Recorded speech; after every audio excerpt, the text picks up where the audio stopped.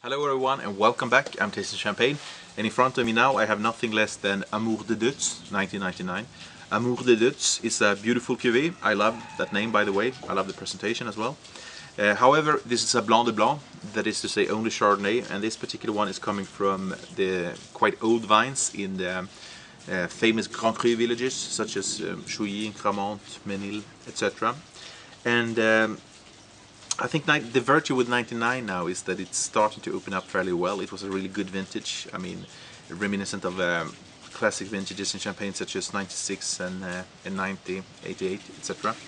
And um, Amour de Deutz right now is starting to display a beautiful nose with creamy notes of uh, hints of fresh butter.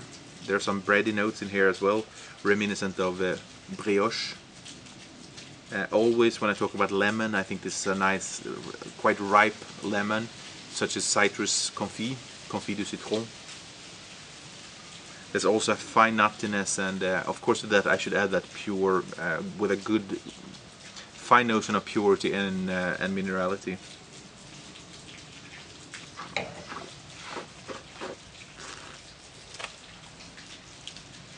Mm, tasting it now, I think this is, I mean, easily drinkable now because mm, beautiful freshness on the palate with um, fine notes of those lemony notes.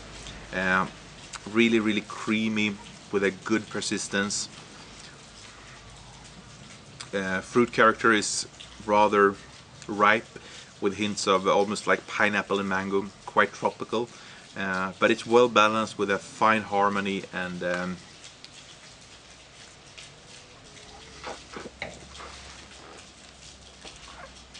course it's a champagne which could gain more from further aging.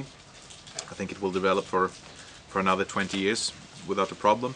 However, if we need to use it today, uh, I'd be happy to drink it with, uh, I would opt for, um, of course it's a pure Chardonnay, so I would opt for something based on fish or shellfish and uh, anything from the sea. And with this one, I would love to have some nice king crab, uh, or uh, or lobster really intense um, uh, delicate flavors um, flavors you don't really want to spoil so they are best served with a really pure and mineral wine such as this one